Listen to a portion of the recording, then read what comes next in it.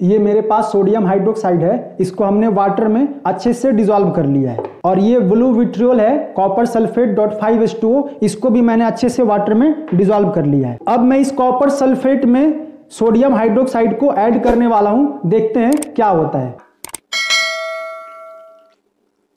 जब हमने sodium hydroxide को कॉपर सल्फेट सोल्यूशन में ऐड किया तो इसमें कुछ गाढ़ा गाढ़ा सब्सटेंस फॉर्म हुआ है, जो नीचे सेटल डाउन हो गया है। और इसमें लिक्विड जो पार्ट है, वो हमें बिल्कुल अलग दिख रहा है। मैं आपको सेपरेट करके दिखाता हूँ।